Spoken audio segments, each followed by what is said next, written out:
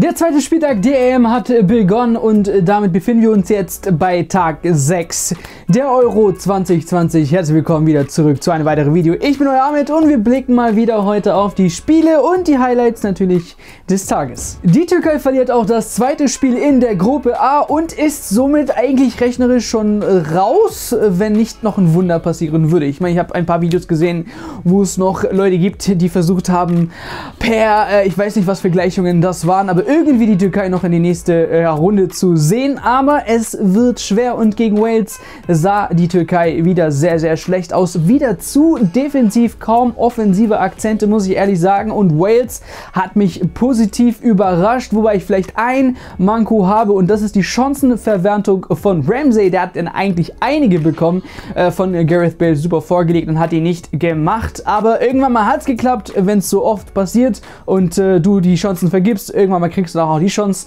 Und dann kam eben eine schöne, wirklich Flanke, denn ein Bale lässt sich immer fallen, schiebt, äh, schiebt den Ball rüber auf Ramsey über die Viererkette und der schiebt nur noch rein und damit die Führung. Gareth Bale hat die Chance dann selbst auf dem Elfmeterpunkt und ja, was soll man sagen? A la Golf hat er ihn übers Tor äh, versenkt und dann aber trotzdem zum Ende auch noch ein Tor vorgelegt. Damit Wales auf jeden Fall Glückwunsch und sind jetzt mit einem Bein in der nächsten Runde.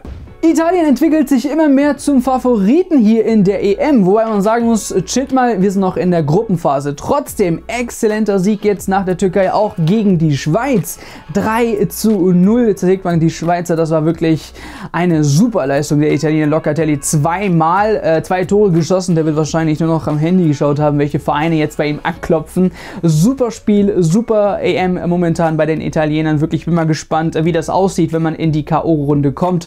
Aber ja, Italien hier für mich eigentlich jetzt schon sicher auf dem ersten Platz durch.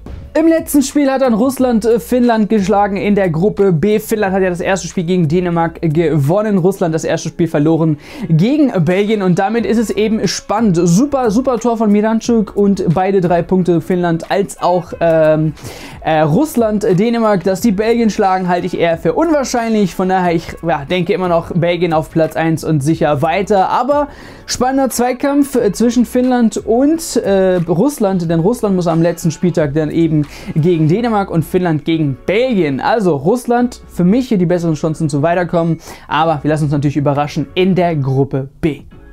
Wir blicken natürlich noch kurz auf die Gruppen. In der Gruppe A Italien mit 6 Punkten auf dem ersten Platz. Wales hat äh, ziemlich gute Punkte gemacht, denn am letzten Spieltag geht es e- eben gegen Italien und das wird auf jeden Fall das schwere Spiel. Würde mich nicht wundern sogar, wenn die Türkei gegen die Schweiz am letzten Spieltag gewinnt, aber es vielleicht trotzdem nicht zum Weiterkommen als beste Dritte ausreicht. In der Gruppe B habe ich es euch schon ein bisschen gesagt, Finnland und Russland beide drei Punkte, aber letztes Spiel Finnland gegen Belgien, Russland gegen Dänemark. Hier würde ein Unentschieden ausreichen für Russland und wenn eben Belgien gegen Finnland gewinnt. Also, es bleibt weiterhin spannend.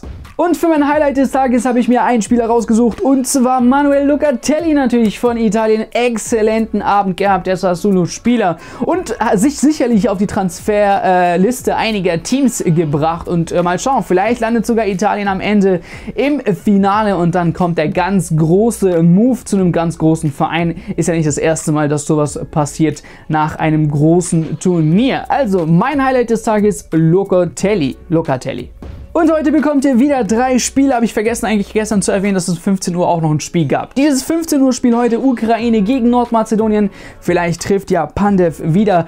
Alaba und Co. müssen gegen die Niederlande ran. Das wird auf jeden Fall ein geiles Spiel. Auch vielleicht um Platz 1. Und Dänemark gegen Belgien. Das letzte Spiel. Sprich Lukaku und Co. gegen die Dänen. Das wird auch geil. Ich bin auf jeden Fall gespannt auf heute Abend. Und wir sehen uns natürlich dann morgen wieder zu einem weiteren Video. Ich war ja Ahmed. Vielen Dank fürs Einschalten.